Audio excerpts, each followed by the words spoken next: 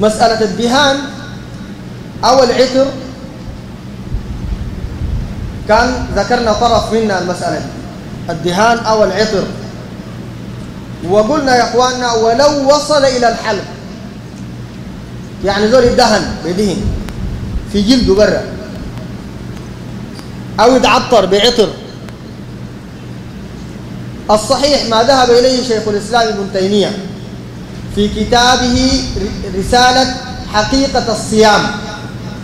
أن من ادهن مسح من برا ولا تعطر حتى لو وجد طعم هذا الدهن ولا الكحل في حلقه فهذا ليس من المفترات. ده ما من المفترات لأنه الجلد ليس من مداخل المعدة. وما فيه علة من علل الإفطار. لأن علل الإفطار إما يكون الطعام للذة أو لشهوة أو لغذاء بغذي الجسم. لكن ما في إنسان بيتغذى بيدهم في جلده برا. ولا بيعطر. طيب. قال أو احتقن. الحقن قلنا نوعين. من الحقن ولا الإبر المغذية؟ دربات. اللي بتكون في معنى الغذاء ودي مفترة أما الحقن الدوائية بتاع الدواء مسكن بتاع ألم أو حقنة بتاعت باقي ملارية كده أو حاجة زي دي الإنسان ينطين الحقنة وهو صائم ما بتأثر على الصيام أصلا. بخاخ الأزمة. غير من الحقن اللي هي ما في معنى الغذاء. قطرات العين وقطرات الأذن وقطرات الأنف زول يعمل حسابه منه يعمل حسابه منا لأن قطرات الأنف منها ما يدخل إلى الجوف. ودي تدخل في حكم الاستنشاق. قلنا حديث لقيط ابن صبرة النبي صلى الله عليه وسلم قال له بالغ في الاستنشاق ما لم تكن شنو؟ صائما فالقطرة الأنف ممكن تدخل شنو؟ إلى الجوف وتكون في معنى الغذاء. عشان كده قطرة الأذن ما بتأثر. قطرة العين ما بتأثر حتى لو وجد طعام في حلقه. لأن العين والأذن ليسا من مداخل الجوف. ما من مدخل بغذي الجوف. لكن قلنا الفم والأنف. من المداخل اللي بتغذي الجوف طيب. قال أو حجم أو احتجم. حجم ده هو الحجام. الإنسان اللي بيعمل الحجامة. الحجامة معروفة.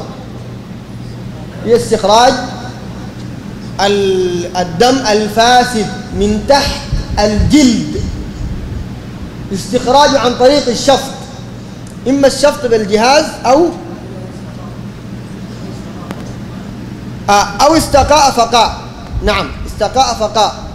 وده الحكم ده مر برضه مر علينا يا إخواننا.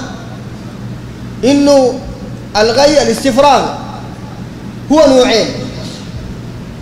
جاء في حديث أبي هريرة النبي صلى الله عليه وسلم قال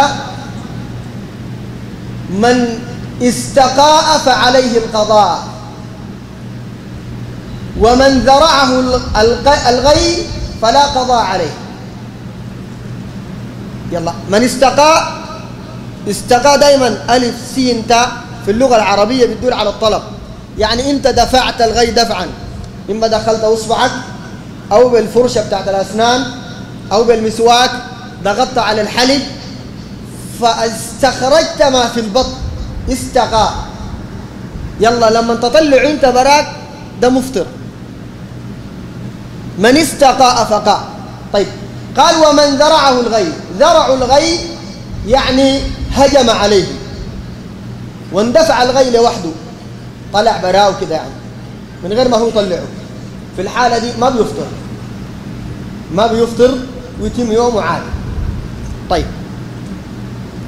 قال أو حجم أو احتجم. قلنا الحجامة هي استخراج شنو؟ الدم الفاسد اللي قاعد وين؟ تحت الجلد. الدم بيكون تحت الجلد. طيب استخراجه عن طريق الشفط الشفط إما بجهاز بيشفطوا به أو يكون الشفط يدوي بالفم. زمان عندهم شكل قرن زي القرن بتاع البهيمة. بعد ما هم يعملوا الشرطات بتاعت الحجامة بيقوم بيشفط الحجام بفمه. طيب الطريقتين اللي أنا ذكرتهم لأنه حيكون أي واحدة منهم عندها حكم براءة. أعرف إما طريقة شنو؟ الشفط بالفم أو طريقة الشفط بجهاز ايا كان. طيب. فحجم ده الحجام احتجم ده المحجوم. الزول اللي بيعملوا له الحجامة. فالحجامة اختلف فيها العلماء. الجمهور عاد الإمام أحمد. معناه قصدين منه أبو حنيفة. مالك الشافعي. يقولوا الحجامة لا تفطر. لا الحاجم ولا المحجوم. ما بتفطر. هذا قول الجمهور. واستندوا إلى رواية في الحديث. حديث ابن عباس رضي الله عنه قال ابن عباس احتجم النبي صلى الله عليه وسلم وهو صائم. خلاص. كده قالوا ما دام احتجم النبي صلى الله عليه وسلم وهو صائم اذا شنو؟ الحجامة ما بتفطر. ده قول الجمهور والمستند بتاعه. طيب. الإمام أحمد انفرد عن الجمهور وقال الحجامة مفسدة للصيام. ومن احتجم وجب عليه القضاء. طيب مستند شنو الإمام أحمد؟ مستند حديث النبي صلى الله عليه وسلم. أفطر الحاجم والمحجوم. رواه الإمام أحمد. أفطر الحاجم والمحجوم. طيب إذا عندنا حديثين. حديث النبي صلى الله عليه وسلم بيقول شنو؟ أفطر الحاجم والمحجوم. والحديث اللي استندوا عليه الجمهور كلام ابن عباس إنه النبي صلى الله عليه وسلم احتجم وهو شنو؟ طيب كيف نرجح بيناتهم ترجيح الجمهور قالوا الحديث احتجم النبي صلى الله عليه وسلم وهو صائم يدل على جواز الحجامة. وإن النهي يدل على الكراهة ما يدل على التحريم. ويدل على إنه الصيام صحيح. طيب الإمام أحمد مستند شنو؟ الإمام أحمد قال الزيادة اللي استندوا عليها الجمهور وهي شنو؟ احتجم وهو شنو؟ صائم الكلمة دي وهو صائم. قال هذه الزيادة ضعيفة. الزيادة دي ضعيفة. ضعف الإمام أحمد. وأيضا أنكرها يحيى بن سعيد الأنصاري. من رجال الحديث. طيب. ابن تيمية نصر كلام الإمام أحمد إنه هذه الزيادة ضعيفة. فلم يبق إلا الحديث أفطر الحاجم والمحجوم قالوا وهذا الحديث ناقل عن الأصل. الأصل إنه الحجامة بتعمل حاجة. والحديث ده ناقل عن الأصل. وهو مقدم. ده أفطر الحاجم والمحجوم مقدم. لأنه ناقل عن شنو يا أخواننا؟ عن الأصل. إذن يبقى الراجح من القولين إنه الحجامة مفطرة. من مفسدات الصيام الحجامة. ده الراجح. طيب يا أخواننا العلة شنو؟ ابن تيمية قال والعلة أن الحجامة مضعفة للبدن. مضعفة للبدن. يعني الصائم لو احتجم بدنه بيضعف. الآن أنت لما تعمل الحجامة ما بتستخرج دم من جسمك. والدم غذاء وقوة الجسم لما تستخرجه بيضعف بدنك. ولذلك أباح الله تعالى له الفطر. طيب لو قلنا المحجوم بيضعف بدنه لأنه استخرجوا منه دم كيف يكون أفطر شنو؟ الحاجم قال شيخ الإسلام طبعا ابن تيمية رحمه الله تعالى من العلماء المحققين. والمسألة لو بحث لك تمام وتناول لك جوانب ما بخلي لك فيها باقي تاني. قال ابن تيمية والحاجم لأنه زمان الحجامة كانت بشنو؟ عشان كده قبل أنا قلت لك فرق بين البجرة بالقارورة بالقرن ومن البشفطة بالجهاز. قال وهو يسحب الدم بفمه. قال وهذا مظنة لخروج أو لدخول بعض الدم مع الأكسجين إلى جوفه. ويفطر بهذا. لما يجر الدم ده الدم اللي بيطلع من المحجوم ممكن يدخل عبر الأكسجين يدخل إلى جوفه. قال ولهذه المظنة كان الحاجب مفطرا. والمظنة دي نحن بناخذ بها في الأحكام الشرعية؟ نعم. الآن الزول لو نام واستيقظ من النوم الصباح وكان متوضي حيمشي يصلي طوال ولا يتوضا تاني؟ يتوضا صحيح؟ ليه؟ هل النوم حدث؟ النوم حدث؟ الحدث ده معروف الخارج من السبيلين. ده حدث. أو أكل لحم الإبل. ده مبطل للوضوء. النوم ده عمل شنو؟ قالوا النوم هو مظنة الحدث. انت نايم؟ ما عارف الحصل شنو. ممكن تكون احدثت ممكن تكون ما احدثت لذلك قالوا النوم الشديد النوم الثقيل يعني هو مظنة للحدث. عشان كده الفقهاء بيعتبروه ده حدث. والحجامة لما نجرها بالقرن مظنة لدخول شيء إلى الجوف وهي مفسدة. عشان كده اللي بيحجم بيشفط بخشمه أفطر. أما اللي بيجرها بشنو بالجهاز بالمقبس بتاعها ده أو الشفاط ده ده ما بيفطر. عشان كده ما بيدخل فيه أفطر الحاجم والمحجوم الخلاصة عندنا المحجوم بيفطر. لحديث أفطر الحاجم والمحجوم والحاجم بيفطر لو جراه بشنو؟ بفمه. أما لو سحبه بالجهاز فلا يفطر طيب. الليلة يا أخواننا إحنا مسائلنا كثيرة وزمننا قصير. عشان كده نمشي بسرعة. طيب. قال ولا يفطر ناس بشيء من ذلك. ذل الناس ما يفطر بشيء من ذلك. خلافا لمن؟ من العلماء. آه ذكروا. مالك.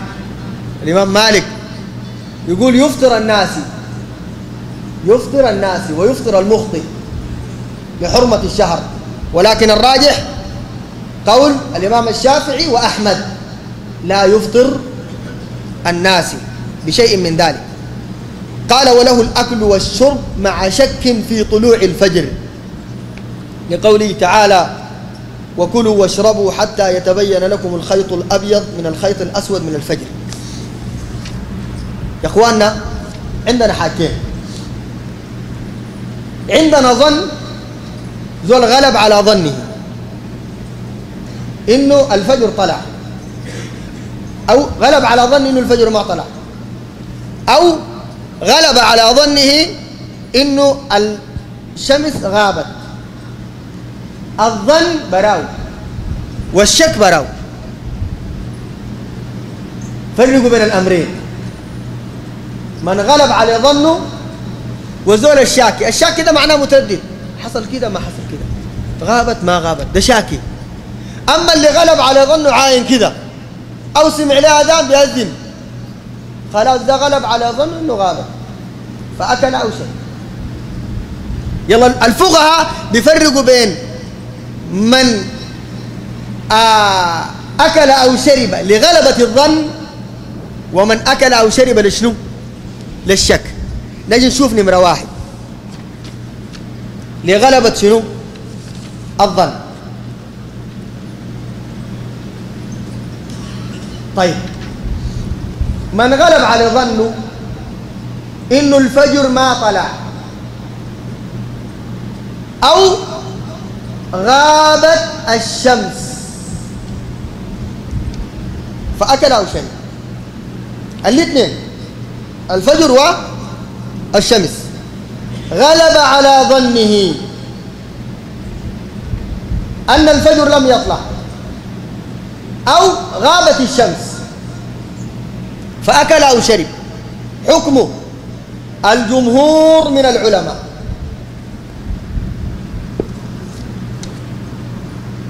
بل الأربعة الأئمة الأربعة. الأئمة الأربعة. عندهم وجب عليه القضاء. وجب عليه القضاء. عند الأئمة الأربعة. طيب. ومذهب الإمام إسحاق ورواية عن أحمد. واختيار ابن تيمية. إنه ليس عليه شيء. يا اخوانا كذا أوقع لكم بالراحة. الناس مثلا قاعدين في البرش بتاع الإفطار ومنتظرين الأذان. سمعوا لهم آذان. طيب سمعوا آذان. أو اليوم ذاك يوم غيم في مطر. خاصة إحنا عندنا رمضان حيجينا في جزء منه في الخريف. في غيم.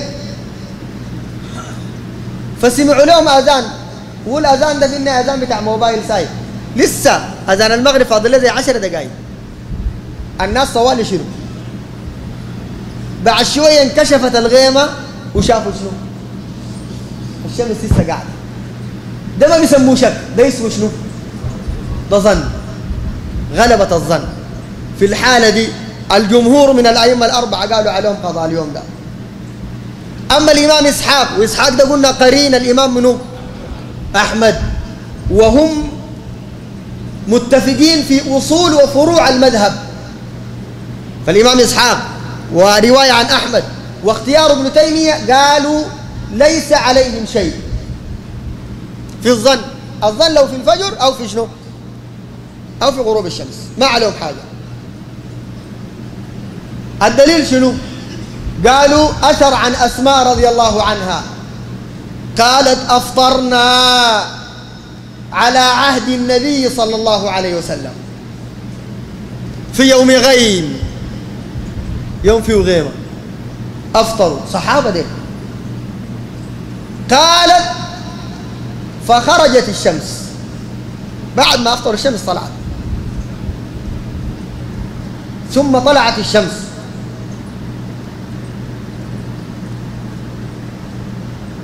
ولم يؤمروا بالقضاء. النبي صلى الله عليه وسلم ما قال لهم قضوا اليوم ده. عشان كده العلماء قالوا من ظن أو جهل الحكم ظن أو جهل الحكم ما عليه شيء. وده يبقى الراجح مذهب إسحاق واختيار شيخ الإسلام ابن تيمية رحمه الله تعالى. وحصلت قبل كده كثير المسألة دي. بعض الناس في الأطراف أطراف العاصمة بشوفوا الشمس. كنا مرة مع شباب وأفطرنا. بعد ما انتهينا. بعد شوية عاينا لقينا الشمس ورا شجرة بيجاي الشمس قاعدة. فالناس اختلفوا عليهم القضاء ولا ما عليهم القضاء؟ فالصحيح إنه ما عليهم شنو؟ ما عليهم قضاء لأثر أسماء رضي الله عنها وبرضه الأثر اللي ذكرناه أمس بتاع عدي بن حاتم. وده بيدل على إنه إنسان إذا جهل معلومة. في صيام الزمان زول يقول لك والله يا مولانا نحن لنا زمن طويل جدا. الشمس دي ما تقرب تغرب ساعة نحن بنفطر. ولا في ناس عندهم الصباح ده بيأكلوا لما تتضح لهم الرؤية تب لما زول يشوف هذيك بقرة فلان في المحل الفلاني لما يشوف بيأكلوا وبيشربوا. لو كان بيصوم زي ده ستة سنة عشر سنة. نقول له شنو؟ ده جاهل بالحكم. نقول له صيامك صحيح وما عليك أي حاجة. عدي بن حاتم خاتم معاه الحبلين أبيض وأسود. وبعاين فيه يأكل ويشرب. لحد ما تبين له الأسود وينه والأبيض وينه بعد ذلك جاء النبي صلى الله عليه وسلم النبي صلى الله عليه وسلم علمه وما أمره بشنو؟ بالخطأ. طيب.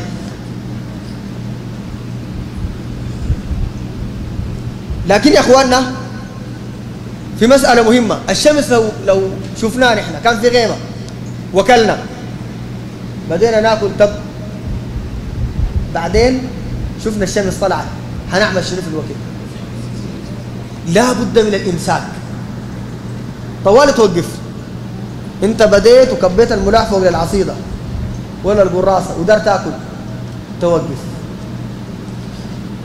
لحد ما شنو؟ تغيب الشمس بعدين تواصل وما عليك حاجة في اللي أكلته أول. طيب. كده انتهينا من الظن. أما الشك الشك العلماء قالوا هو على نوعين.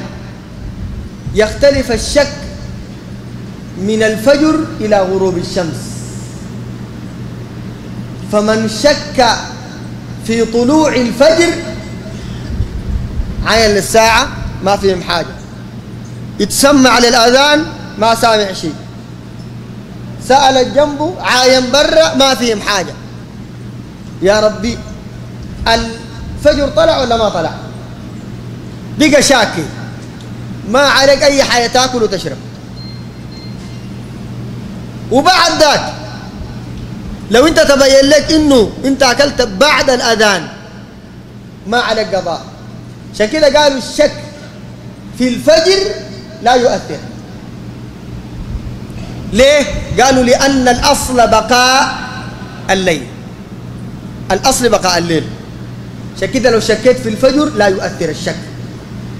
أما الشك في غروب الشمس لو أنت أكلت ولا شربت بشك وجب عليك الخطا هذا هو الراجح. طيب.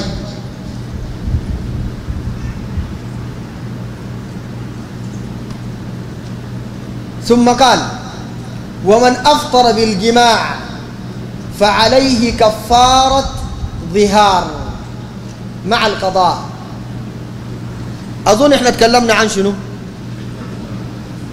عن كفارة الظهار. وذكرنا حديث أبي هريرة قصة الرجل اسمه منو؟ الرجل اللي جامع زوجته في نهار رمضان اسمه منو؟ سلمة ابن صخر البياضي. سلمة ابن صخر البياضي. القصة ذكرناه لكن في مسألة وهي القضاء. هل عليه مع الكفارة القضاء ولا لا؟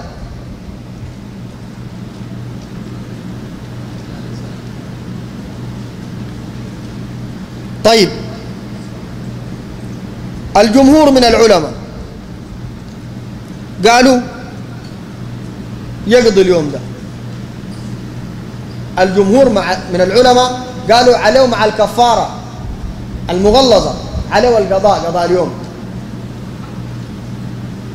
قالوا لرواية في الحديث وقض يوما مكانه. قال له يعني كفر أعمل الكفارة واقضي يوم مكانه.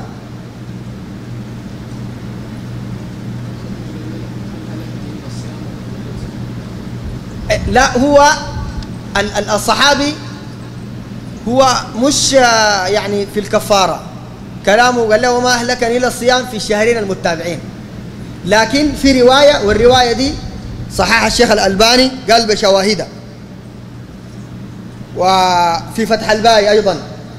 والشيخ ابن عثيمين نصر هذا القول. كويس؟ لكن ابن حزم خالف الجمهور من العلماء. ابن حزم قال ليس عليه القضاء. ما عليه قضاء. لماذا؟ قال لأن هذه عبادة. فوتها الإنسان عن موضعها بغير أو عامدا متعمد فوتها. قال فليس عليه قضاء ولو قضى ما تقبل منه. زي الصلاة يا اخوان الآن لو في سألته قال لك يا مولانا دار أقضي الصلاة. تقضي شنو؟ يقول لك الليلة من الصباح ما صليت. ليه؟ مريض؟ لا.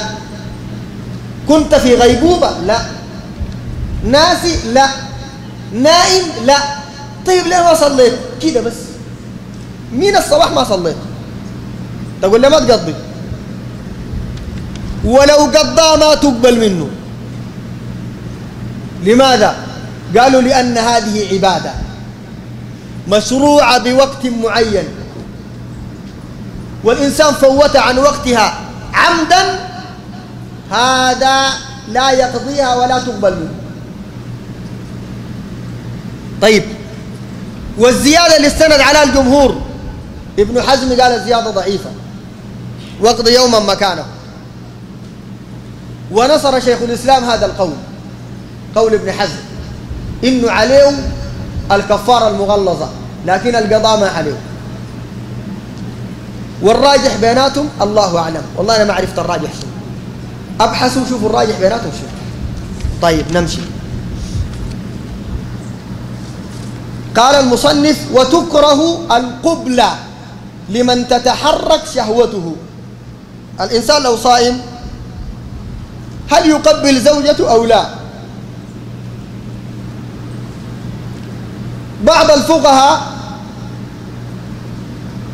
قالوا بنفس القول بتاع المصنف إنه مكروه لمن تتحرك شهوته.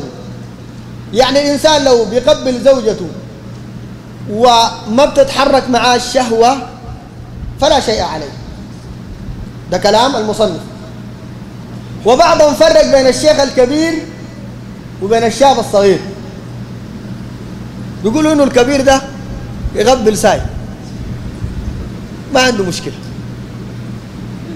ما منه خوف. لكن الصغير لأنه بكون شنو؟ شهوته قوية. عشان كده الشباب قالوا ما يقبلوا يقبلوا الناس الكبار.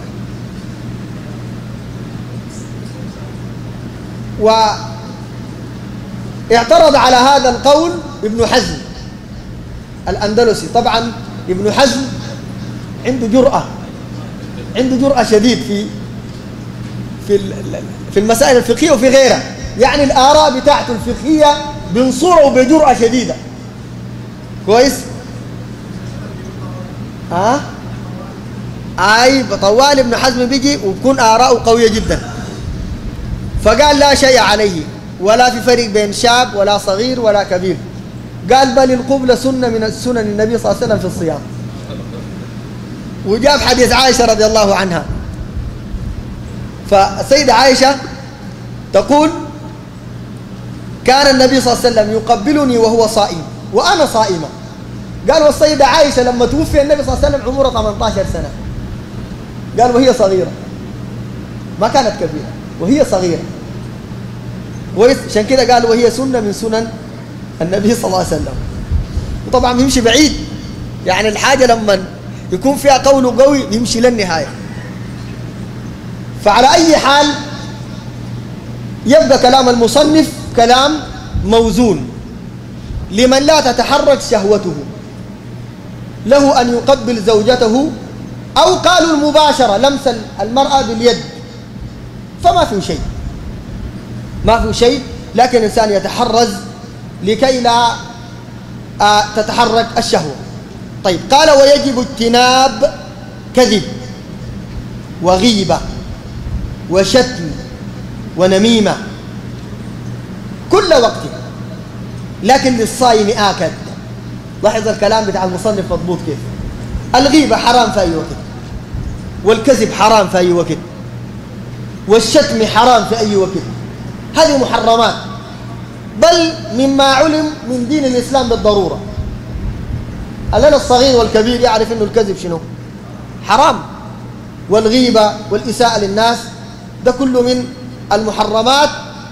قال وإن شتمه أحد فليقل إني صائم. والدليل على هذا يا أخواننا حديث أبي هريرة رضي الله تعالى عنه. قال النبي صلى الله عليه وسلم إذا كان يوم صوم أحدكم فلا يرفث ولا يصخب فلا يرفث ولا الصخب هو ارتفاع الصوت. تلقى الناس بيتجادلوا خاصة في السوق. وانت بتعرفوا صايمين ولا ما صايمين؟ اللي بيكوركوا سبعة ونص وثلاثة ونص وبتاع ده ده صايمين ولا ما صايمين؟ من الصباح. يكورك لآخر اليوم. ده أنا ذاته أشك إنه صايم. لكن على أي حال نعمله بالظاهر صايم. ما تعمل صخب أفرج بضاعتك والله الله رازقك ليه بيجيك فالصخب وخاصة الصخب في الأسواق أشد حرمة. طيب. فقال فلا يصخب وإن سابه أحد أو شاتمه فليقل إني إني صايم. الشغلة دي حارة يا أخوان. نكلمك النصيحة. شفت دي بالذات. في الصيام حارة جدا. لأنه الناس دي تشوفهم في المواصلات الواحد راكب وأول ما الكمساري يكت... سايله وأخر له الباقي يا أخي مالك يقول له برانا صايمين وقافلة معانا. صايم عرفناه قافلة معاك ليه يعني؟ في شنو؟ جاهزين للشكلة والشكل في رمضان أكثر من, رم... من غير رمضان ذات. ناس مسخنين. والله والله يا اخواننا السودانيين المسخنين سخانة. انت لو بس لو قدرت تعرفهم ها؟ بس في المواصلات دي بس احفظوك ذا الفكرة طوالي يقبل عليك جاهزين يعني شفت؟ ناس جاهزين للشكل. في أي وقت.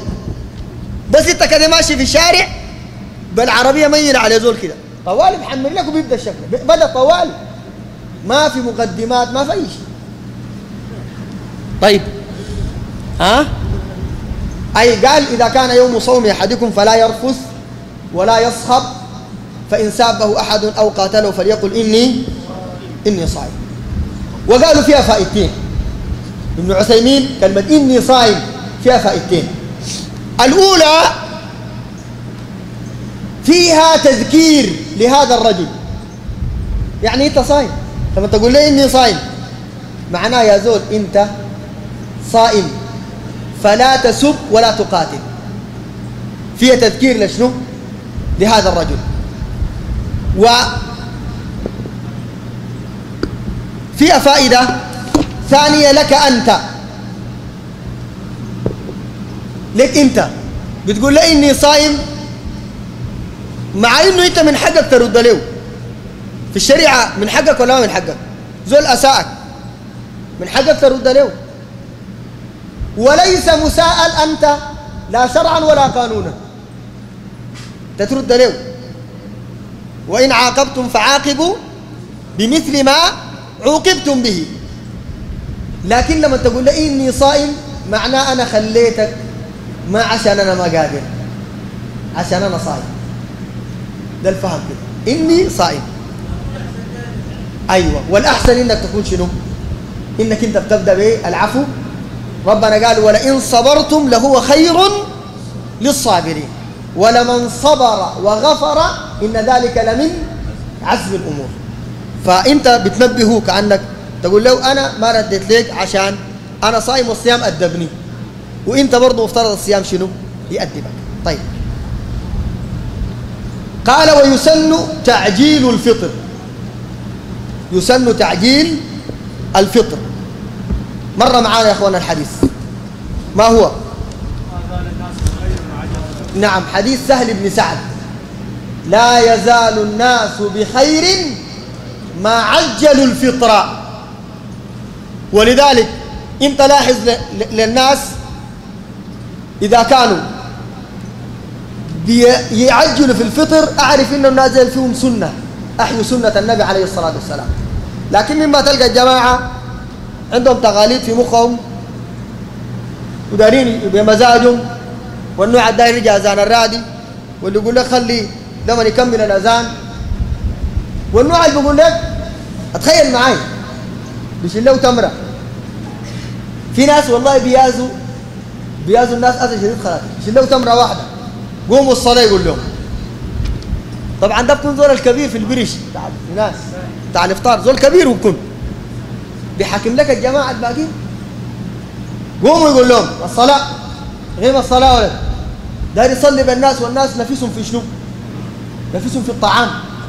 يا أخي في غير رمضان في غير رمضان. النبي عليه الصلاة والسلام قال إذا وضع العشاء وأقيمت الصلاة قال فابدأوا بشنو؟ بالعشاء أول حاجة عشان ما تجي تصلي أنت ونفسك في الأكل. والله الصلاة دي ما تفهم لها حاجة ذاته. الإمام ده قرأ شنو؟ ما بتعرفه. ده في غير رمضان. فما بالك برمضان؟ انت صايم لك يوم كامل.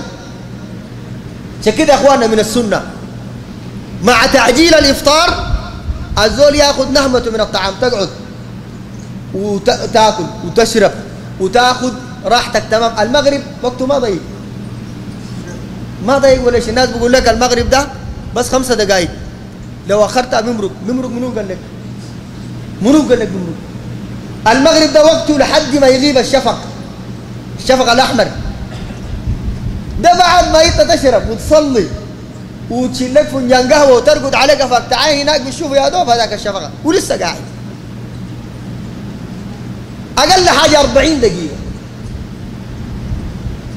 فالناس ما تضيق. على مهلتها طيب. فقلنا حديث سهل ابن سعد لا يزال الناس بخير ما عجلوا الفطرة. قال إذا تحقق الغروب الغروب وله الفطر بغلبة الظن ده تكلمنا عنه. ويسن تأخير السحور. وتكلمنا عن المسألة دي. وفيها حديث أنس رضي الله عنه. قال كنا مع زيد بن ثابت. فقال زيد كنا نتسحر مع النبي صلى الله عليه وسلم. بيسحروا مع النبي صلى الله عليه وسلم. قال فقلت يعني أنس سأل زيد بن ثابت قال كم كان بين بين الأذان والسحور؟ قال قدر خمسين آية. زمان ما في ساعة عشان يقول لك ربع ساعة وثلث ساعة. بيقيسوا الزمن بالآيات. شوف سبحان الله ده ذات ارتباط الصحابة بالقرآن. يعني الواحد منهم لدرجة ارتباطه بالقرآن يقدر به الأزمان. يقول لك قدره كذا قدره خمسين آية. نحن الزمن ده ذات الغراء بتاعنا بيقولوا لك بمزاجات. يعني خمسين آية ده سبق قراية منه. ممكن يجي واحد يمط عليك خمسين آية دي يصبح الواطة ويجي واحد خمسين آية دي بيسلمك ليها في في في دقيقتين يسلمك ليها خمسين آية. لكن الصحابة ده بيدل على إنه أول حاجة قراءتهم مضبوطة. ومعروفة القراية عندهم. ما مزاجات. واحد يقول لك مزاجكم شنو أنا في الجامع؟ أقول لكم قراية سودانية ولا خليجية؟ قلت ده قرآن هو ولا أنت فاتح لك مطعم؟ قرآن ولا فاتح مطعم؟ أقرأ للناس بصوت جميل بقراية طيبة خاشعة. أتأمل القرآن؟ خلي الناس تستمتع بالقرآن. شنو خليجية وسودانية؟ وشنو؟ جلاليب هي؟ دي جلاليب؟ ناس والله يا اخواننا في ناس لعبوا بالدين ده بس. وده غير النوع ها؟ أه؟ اللي بيصلي للناس الصلاة بالقروش. الركعة بقروش. مش مش بحساب التراويح بالجملة لا بالركعة.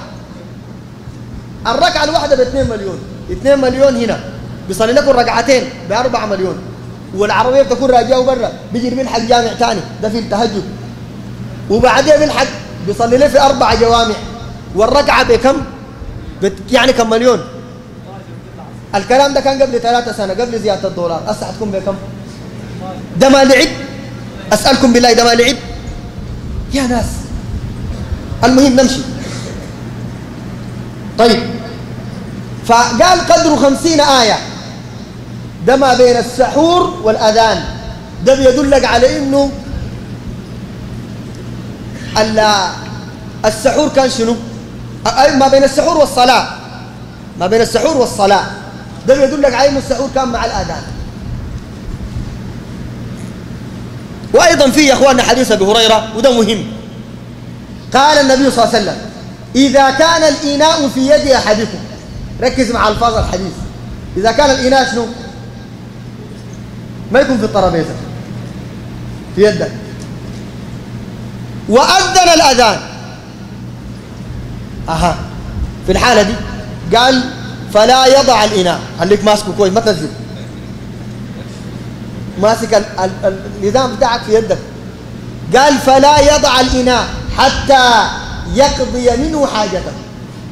ماسك لك كورة بتاعت لبن ولا أبريه وسمعت الأذان الله أكبر ده الأذان الثاني ما تفرط فيك. أمسك عليك. أشرب أروى تمام.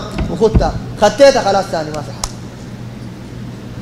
فلا يضعه حتى يقضي منه حاجته. لكن لو كان قاعد في الثلاجة مش سمعت الأذان تقوم جاري سريع تفتحها ما في طريقة ثانية في يد أحدكم بس. لا لا بس الإناء في يدك ده. تكمله. لو كان شايل لك جردل تكمل الجردل ده كله. طيب. قال وتحصل فضيلة السحور بأكل أو شرب وإن قل. شرحناه البارح. قال ويفطر على الرطب. وده لحديث أنس رضي الله عنه قال كان النبي صلى الله عليه وسلم يفطر على رطبات. الرطب ده البلح الجديد. يفطر على رطبات. آه قال في آه ثم يقوم فيصلي. قال فإن لم تكن رطبات فعلى تمرات. لو ما لقى رطب تمر. يعني يبدأ بها في الأول. أول ما تبدأ أبدأ بالرطب. ما لقيت فعلى التمر. قال فإن لم يجد حسى حسوات من ماء. حسوات يعني شنو؟ بيشرب بسيط ما تمشي تشرب لك قارورة قدور بتضرك شوف النبي عليه الصلاة والسلام فعله سنة وطب. ده طب. عشان كده ابن القيم علق عليه الكلام ده في زاد المعاد. قال ومعلوم أن البطن مع خلوها تحتاج إلى شيء من الحلوى يعني الحلوى في البلح. بتحتاج ليها كويس؟ قال ومعلوم ما في التمر والماء من الفائدة في تقوية القلوب ما لا يعلمه إلا أطباء القلوب. التمر والموية دي.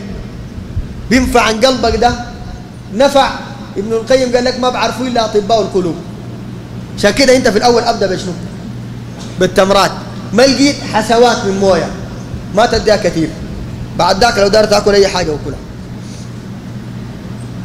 طيب قال فإن لم يجد فعلى التمر.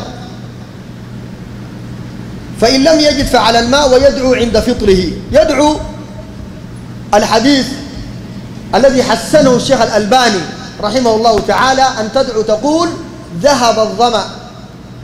ذهب الظمأ. وابتلت العروق وثبت الأجر إن شاء الله. ذهب الظمأ.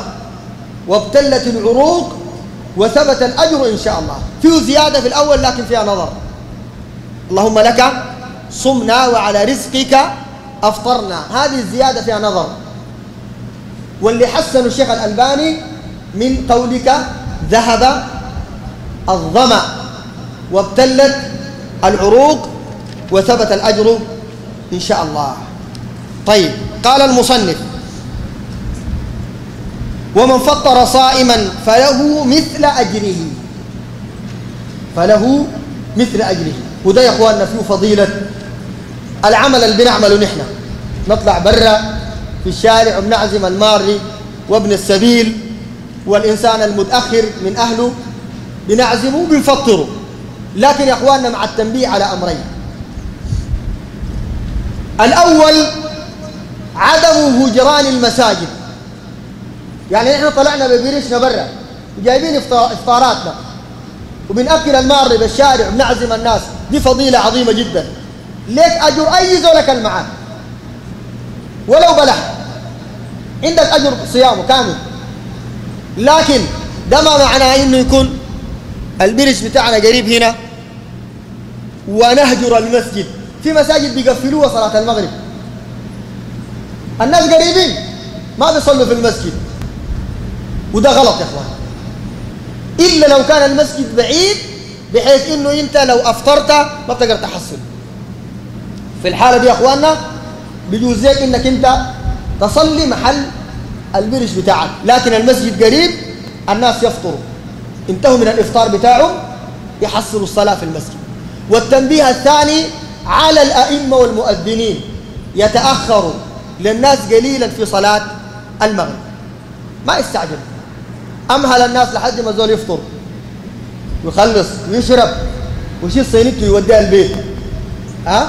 ويجي يحصل الصلاة في المسجد. لو أخرت عشر دقائق ربع ساعة ما بتضر بشيء ربع ساعة ما بتأثر بشيء وما بيخرج وقت المغرب. طيب. قال ويستحب الإكثار من قراءة القرآن في رمضان.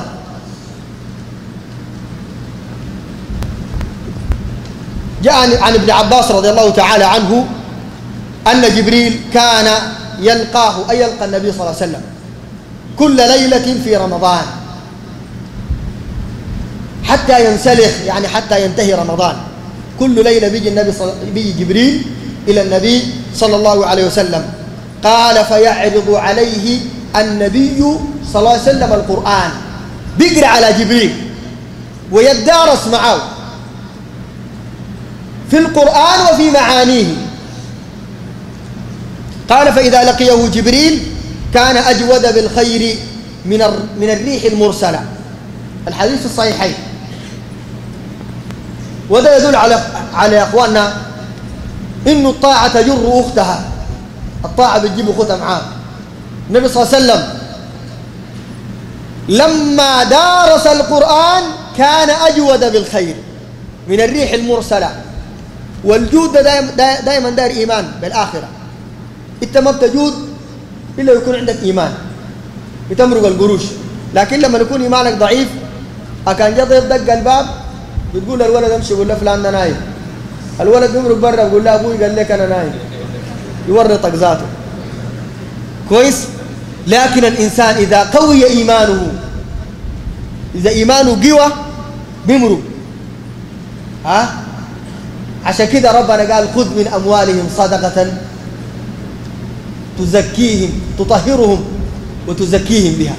لأنه أساس الصدقه بتمرق من الجيب لكن بتنظف القلب. الناس بتخيلوها بتنظف الجيب. ما بتنظف الجيب بتنظف القلب. القلب ده بينضف بالصدقه طيب. آه قال والذكر والصدقة وأفضل الصيام التطوع. خلاص المصنف هنا انتقل لنا لمسألة ثانية. دار يورينا أنواع من صيام التطوع. قال وأفضل صيام التطوع صيام يوم وإفطار يوم. وده صيام شنو؟ ده صيام داود عليه السلام.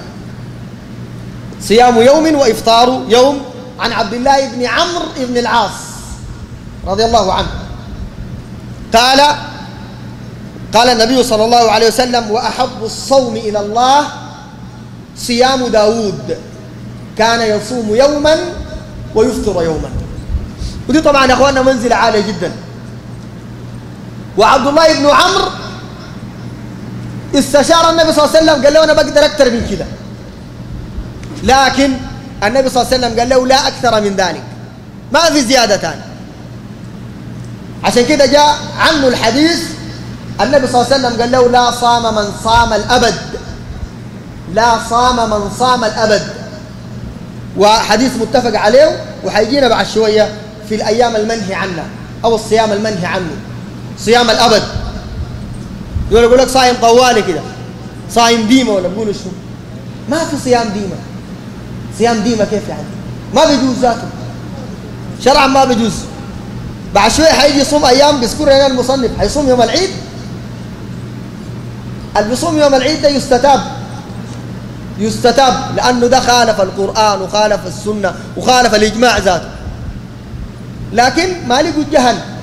صايم ديمه واحد يقول لك أنا بعلم الغيب وأنا بنفع وبضر وأنا بدي الجنة وأنا الرزق عندي وأنا بكتب لك حجاب بينفخك وحجاب بيعدل طريقك وبخرة بتسولك شنو؟ وده كله من التلاعب. كله من التلاعب بالناس. يا ناس الشريعة دي واضحة. ما فيها كلام زي ده كله. انت شيخ بتاع دين شيخ بتاع دين انت؟ بتعلم الناس؟ أقعد. علمهم قرآن وسنة وتوحيد وصلاة وفقه وصيام. ده شيخ الدين اللي بنعرفه. أما شيخ بيعدل طريقك ده ما في. يعدل طريقك؟ اللي بيعدل الطريق ده الله. لكن ده يعدل طريقك وده كيلو يحنكك. وأنا ما أعرف ده شنو ذاك ده ما دين ده. طيب. قال ويسن صيام ثلاثة أيام من من كل شهر. وهذا لحديث أبي هريرة في الصحيحين. قال أوصاني خليلي. وهو النبي صلى الله عليه وسلم. أوصاني خليلي. قال بثلاث صيام ثلاثة أيام من كل شهر. ثلاثة يوم. وركعتي الضحى وأن أوتر قبل أن أنام. وركعتي الضحى وأن أوتر قبل أن أنام. دي ثلاثة وصايا. النبي صلى الله عليه وسلم وصى بها أبي هو أو أبا هريرة. ثلاثة أيام من الشهر والمصنفين قال شنو؟ قال وأيام البيض أفضل. الأيام البيض وهي يوم 13 و14 و15 من الشهر ياتوا ما الأفرنجي العربي. يوم 13 14 15 دي الأفضل الإنسان لو حافظ عليها. الأذان جولة لسه.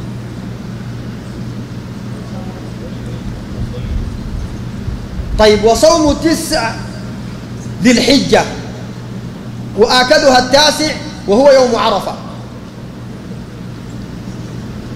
فطينا حاجة؟ آه ويسن صوم الخميس والاثنين. وده معروف في السنة النبي صلى الله عليه وسلم آه عن عائشة قال كان قالت كان رسول الله صلى الله عليه وسلم يتحرى صوم الاثنين والخميس. لأنه يا أخواننا ترفع فيهما الأعمال. الاثنين والخميس. ترفع فيهما الأعمال والاثنين يوم ولد فيه النبي صلى الله عليه وسلم فكان يصوم. الأذان جاء صوم يوم الاثنين والخميس يا أخواننا من السنن. وترفع فيهما الأعمال إلى الله سبحانه وتعالى. وكان النبي صلى الله عليه وسلم يحب أن يرفع عمله وهو صائم. قال وست أيام من شوال ولو متفرقة. ست أيام من شوال ولو متفرقة. وهذا لحديث أبي أيوب الأنصاري رضي الله عنه أن النبي صلى الله عليه وسلم قال من صام رمضان ثم أتبعه ستا من شوال كان كصيام الدهر. يعني كان كالذي صام سنة كاملة كاملة. طيب. وصيام الستة من شوال استحبه الإمام الشافعي وأحمد عليهما رحمة الله. الشافعي وأحمد. لهذا الحديث. وكره صيامه الإمام أبو حنيفة ومالك. لماذا؟ قالوا لئلا يضاف إلى رمضان. عشان ما يظن إنسان إنه شنو؟ إنه الستة دي ملحقة بشنو؟ برمضان. قالوا الناس لو حافظوا عليها حتبقى كأنها ملحقة برمضان وكأنها فريضة. فلهذه العلة كره الإمام أبو حنيفة. والإمام مالك صيام الستة من شوال. والراجح قول الإمام الشافعي وأحمد إنه صيام سنة. وأجابوا عن العلة المذكورة. أجابوا عنا إنه لا يمكن الوصل بين رمضان والستة من شوال لأنه بينهم يوم العيد ويوم العيد بيفصل بيناتهم. قالوا هذه العلة منتفية. طيب. وفيها مسألة برضو مهمة إنه صيام الستة من شوال لا يكون إلا بعد إكمال رمضان. عشان كده اللي عليه قضاء الذي عليه قضاء لا يصوم الستة من شوال حتى يقضي. حد يكمل القضاء بتاعه لعلتين. الأولى الحديث. النبي صلى الله عليه وسلم قال من صام رمضان ثم أتبعه ستا من شوال ثم أتبعه. طيب اللي باقي عليه قضاء بنقدر نقول صام رمضان؟ صام بعض رمضان ما صام رمضان. هذه العلة الأولى. والعلة الثانية الفقهاء قالوا قضاء رمضان واجب فريضة. والستة من شوال شنو؟ سنة. وأحب الأعمال إلى الله شنو؟ الفرائض. فلا يمكن الإنسان يبدأ بالنافلة ويترك ماذا؟ يترك الفريضة والفريضة أحب إلى الله سبحانه وتعالى من النافلة. فلهاتين العلتين ما يصوم الإنسان الست من شوال حتى يكمل رمضان. قال وصوم تسع ذي الحجة. وهذا لحديث أبي قتادة رضي الله عنه. قال صيام يوم عرفة أحتسب على الله أن يكفر السنة التي قبله والسنة التي بعده. ده في صحيح مسلم. طيب يا اخوان صيام يوم عرفة هنا في شرط خدت بين قوسين مهم. لغير الحاج. أما الحجاج فينبغي عليهم الإفطار. ما يصوم عرفة الحجاج. لأن النبي صلى الله عليه وسلم لما كان حاجا ما صام عرفة. أفطر ليتقوى للدعاء. فصيام يوم عرفة لغير الحاج. ويكفر يا سنة القبال ولا البعد الاثنين القبال والبعد. طيب. فإذا يا إخواننا ده يوم عرفة ده في الكم؟ في تسع ذي الحجة. وهو اليوم التاسع يوم عرفة. وكل هذه الأيام أيام صيام. لما جاء عن ابن عباس ما من أيام العمل الصالح فيها أحب إلى الله من هذه الأيام. يعني العشر من ذي الحجة. قال وصوم المحرم وأفضله التاسع والعاشر. المحرم ده أول شهر في السنة الهجرية. محرم شهر نمرة واحد. ويوم العاشر ده اسمه يوم عاشوراء. وده اليوم اللي نجى الله فيه من؟ موسى عليه السلام وأهلك فيه فرعون. وكانت تعظمه اليهود. والنبي عليه الصلاة والسلام قال في حديث أبي قتادة برضه نفس الراوي بتاع حديث شنو؟ ها؟ بتاع يوم عرفة. حديث أبي قتادة. برضه النبي صلى الله عليه وسلم قال صوم يوم عاشوراء أحتسب على الله أن يكفر السنة التي قبله. لا بيختلف من يوم عرفة بالشهر لأنه سنة واحدة والسنة يتفي القبال. وعرف شنو؟ القبل والبعد طيب بعد ذاك كلموا النبي صلى الله عليه وسلم كما في حديث ابن عباس قالوا له اليوم ده بيعظموا اليهود يوم عاشوراء. قال فإن كان العام المقبل يعني السنة الجاية إن شاء الله لنصومن التاسع. قال كان حين للسنة الجاية بتصوم شنو؟ نصوم التاسع. معاه ابن عباس قال وتوفي النبي صلى الله عليه وسلم قبل العام المقبل. طيب. ولهذا استحب صيامه. الإمام مالك والشافعي وأحمد. الإمام مالك والشافعي وأحمد قالوا لعدم التشبه ب أو لمخالفة اليهود والنصارى. طيب. قال ويسن الجمع بينهما. وكل ما ذكر في يوم عاشوراء من الأعمال غير الصيام فلا أصل له. واليوم ده الشيعة عندهم فيه شغل كثير حسينيات وحدين بيطعنوا نفسهم بسكاكين ويضربوا نفسهم بحديد. وعندهم ده يوم الحزن اسمه كده يوم الحزن. بيحزنوا فيه. كويس؟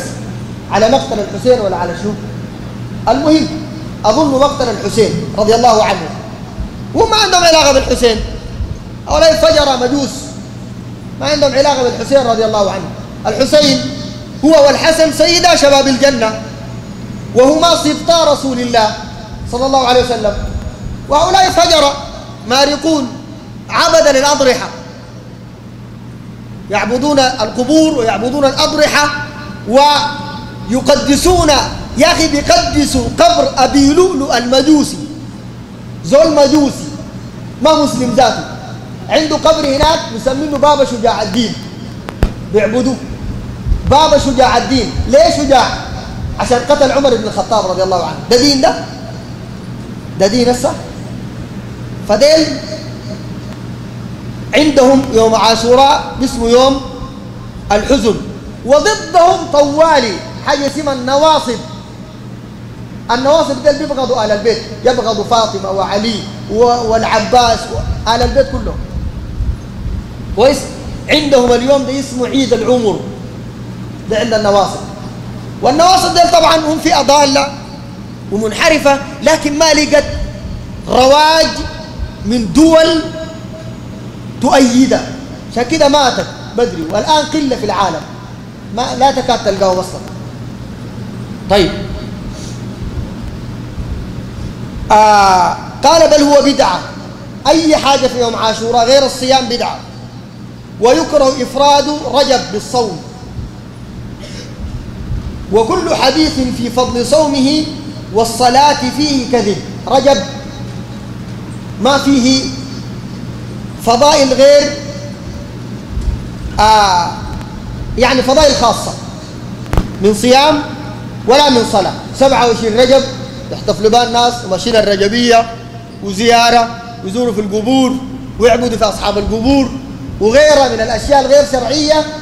دي لو كانت في مناسبة شرعية ما بتجوز خلي يعملوا حاجة ما شرعية. في مناسبة ما شرعية. طيب. قال ويكره إفراد الجمعة بالصوم. الجمعة إفراد براء مكروه لحديث جويرية أم المؤمنين رضي الله عنها وجدها النبي صلى الله عليه وسلم صائمة. فقال أصمت أمس؟ صمت البارح. قالت لا. قال تريدين أن تصومي غدا؟ قالت لا. قال فأفطري. قال فأفطري. وهذا الحديث أولا يا أخواننا فيه كراهة إفراد الجمعة بالصيام. الجمعة تفرد براء كده مش في رمضان إحنا بنتكلم عن النوافل يا إخوان. صوم النوافل. فإفراد الجمعة مكروه بالصيام ما تفرد إلا الصوم يوم قبال ويوم شنو؟ أو يوم بعده وهذا فيه أن صيام يوم السبت لا شيء فيه. صيام يوم السبت مشروع ولا بأس به نافلة. بل قول الجمهور من العلماء في يوم السبت. قول الجمهور إنه ليس فيه كراهة. والحديث الوارد لا تصوموا يوم السبت إلا فيما افترض عليكم. هذا الحديث أعله أغلب العلماء. معلول. قال عنه الإمام مالك كذب وقال عنه الإمام الطحاوي شاذ. وقال عنه الإمام الحافظ ابن حجر مضطرب. وضعفه شيخ الإسلام ابن تيمية. وإن كان الشيخ الألباني نقل تصحيح لهذا الحديث لكنه ضعيف. طيب.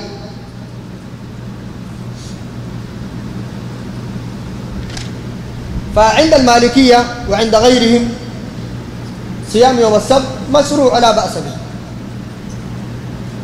خاصة لو صادف يوما من الأيام المسنونة يعني زي يوم عاشوراء أو يوم عرفة ونحو ذلك.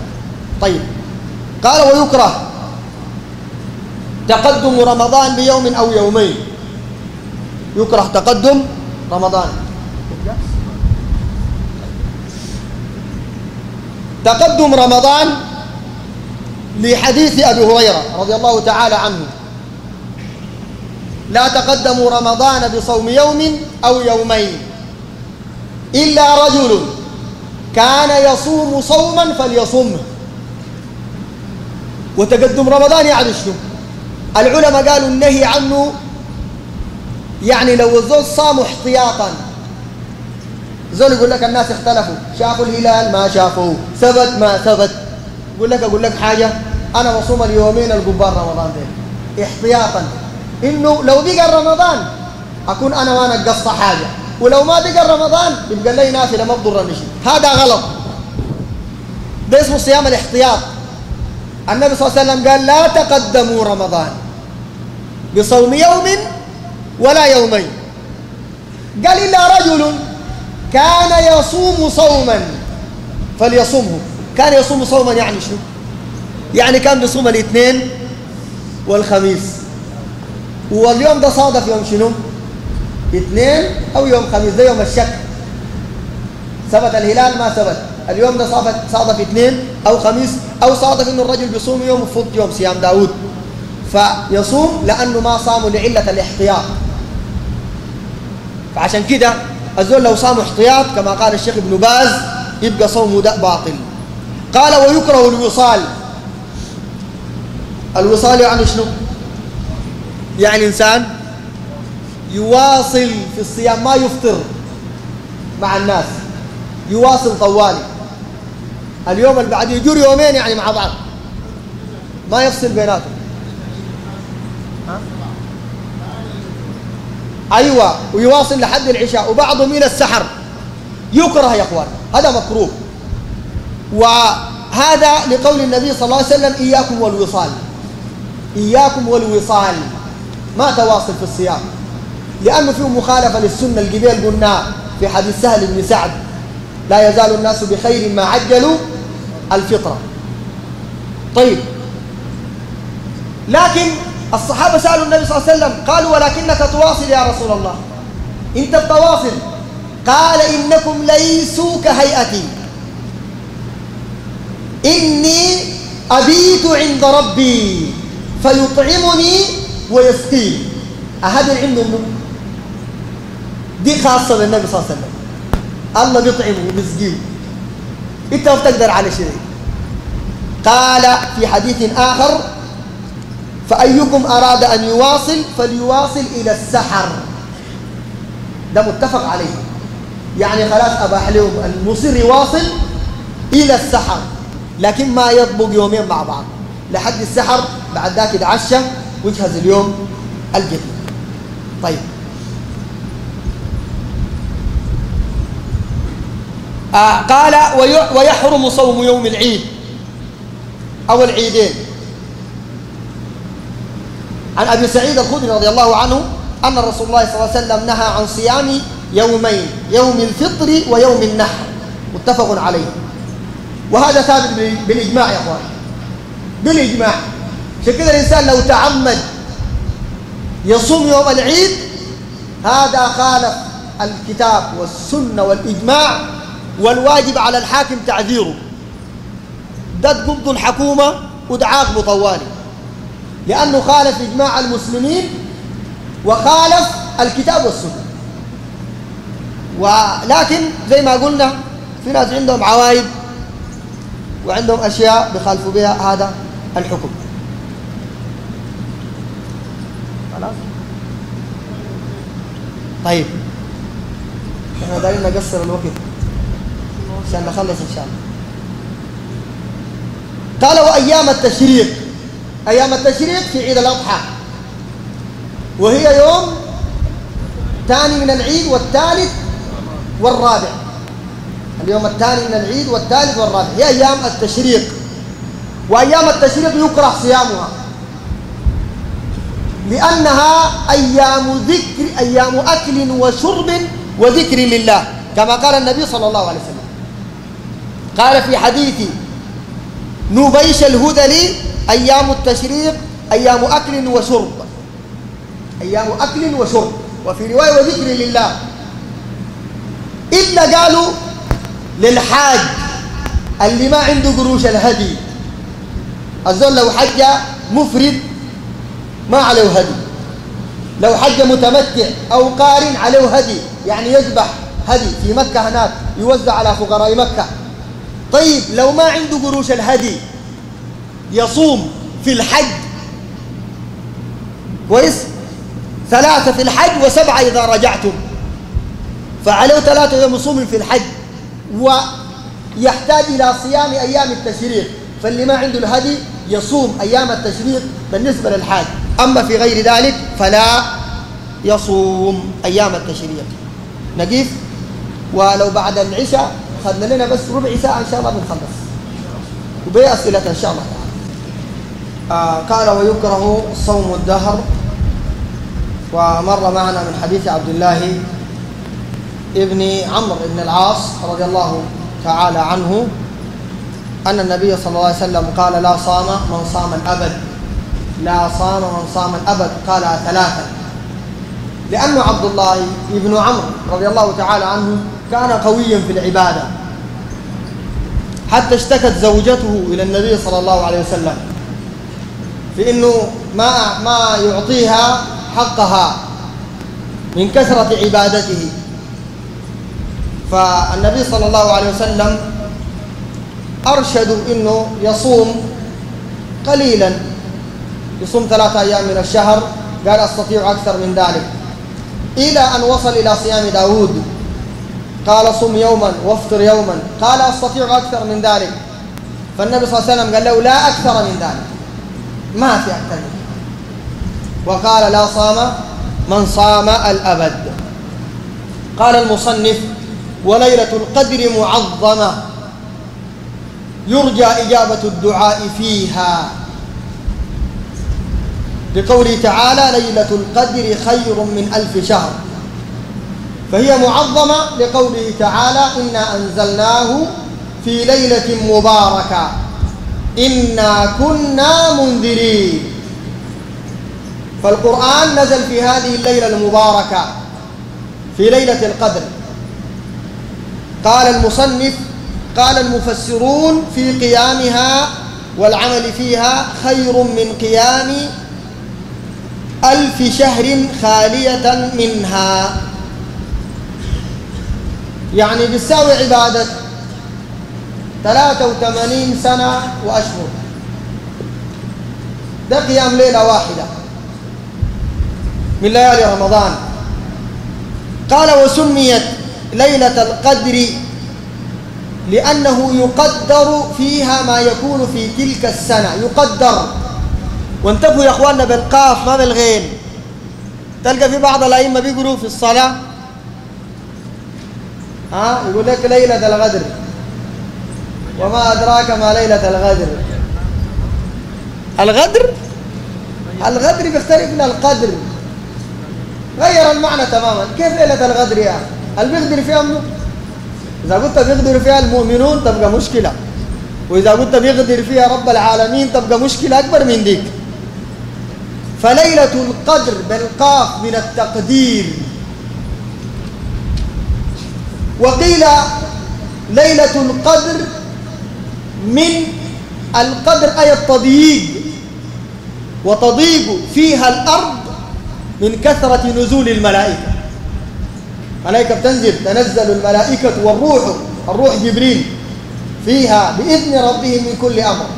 تتنزل الملائكة لحد ما الأرض تضيق والملائكة تؤمن على الدعاء وتدعو للمؤمنين الذين يحملون العرش ومن حوله يسبحون بحمد ربهم ويؤمنون به ويستغفرون للذين آمنوا. ربنا وسعت كل شيء رحمة وعلما فاغفر للذين تابوا واتبعوا سبيلك وقهم عذاب الجحيم.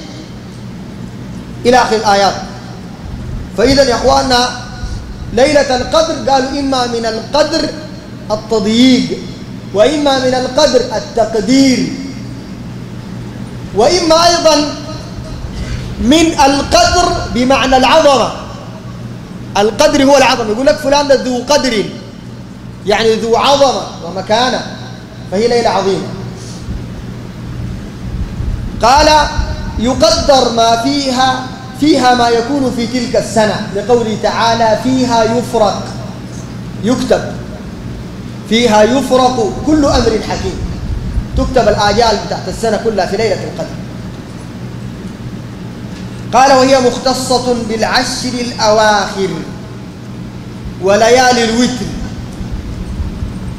العشر الأواخر وفي العشر الأواخر الأوتار. ويا إخواننا بفهم بسيط. يعني ليلة القدر أنت لو شديت حيلك ما بتمرق منها كله كله هي عشرة يوم. قوم العشرة كلها يعني ما صعبة؟ بعشرة يوم بس. ما تفرط فيها. والقيام يا إخواننا من صلى صلاة التراويح مع الإمام حتى ينصرف. كتب له قيام الليلة. يعني ما حاجة صعبة يا أصلا لكن الشيطان بيشتغل معك شغل ثقيل الأيام الأخيرة دي. ولك السوق والجير ما جبته والخبيز بتاع الحريم ذاك. المرأة يشغل الشيطان بخبيز سايق وفي النهاية ياكلوا الشافع ويجيبوا إسهال أيام العيد ويبقوا مستشفى ذاته ما يلقوها. مستشفيات مقفلة. في داعي لده ده؟ أزول يضيع به ليلة القدر.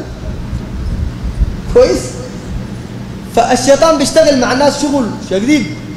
يقول له تعارف لو ما مشيت السوق شغلان يشتغل ودوم الشفع ما بتلقاه تاني يمرقك بالليل. يقول لك بعد المغرب بس تبدا راجع ما في حاجة بس تجي تحصل الصلاة هناك. يوديك صلاة التراويح تفوتك. يقول لك خلاص ما مشكلة صلي في البيت براك. تنوم تروح منك ساي على أي حال هي مختصة بليالي العشر الأواخر وليالي الوتر. قال وآكدها ليلة سبع وعشرين. آكد الليالي. قال العلامة محمد بن إبراهيم آل الشيخ رحمه الله تعالى قال وهذا لأحاديث واعتبارات. جاءت أحاديث وإن كان في صحة كلام لكن فيها أن ليلة القدر في سبع وعشرين. قال واعتبارات. اعتبارات يعني نظر من العلماء. واستنباطات.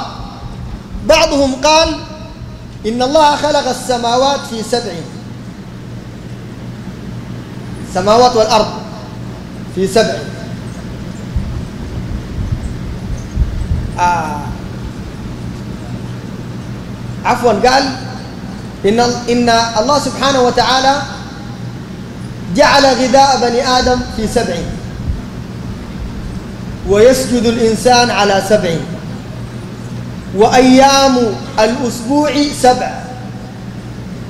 وعدد مجموعة من السبعة ها والسماوات سبع. والأراضين سبع. كويس؟ سبعة سبع كمية سبعة. قالوا ليلة القدر برضه في سبعة وعشرين. يعني كاستنباط يعني. إنه الحرف سبعة ده مرتبط بأشياء كثيرة. عشان كده قالوا برضو ليلة القدر بتكون في 27 والصحيح يا إخواننا أنها تتنقل. ما في ما ثابته في في يوم واحد. تتنقل. وعلامتها الأصلية. إنه الصبيحة بتكون الشمس بيضاء كالطست. مدورة بيضاء. دي العلامة بتاعتها. أما ثاني في علامات يكون هدوء الليلة. ما في نبيح كثير. والجو بيكون فيها جميل. أشياء لكن العلامة الأصلية هي شنو؟ هي الشمس. بتطلع بيضاء ما عندها أشياء في الصباح. على أي حال أنت ما تقعد تراغب في الشمس. عشان ما أنت تقعد شنو؟ الشمس يوم تظهر لك إنه دي بيضاء وتكون هي ما بيضاء تنوم على كده وتكون دي ما ليلة الغدر ليلة الغدر تجي بعد شوية.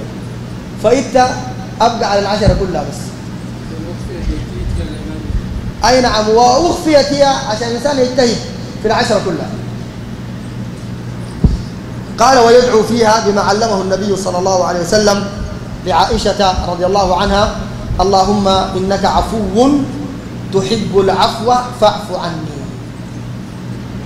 هذا الدعاء يستحب في ليلة القدر ها؟ لا كريم ما في.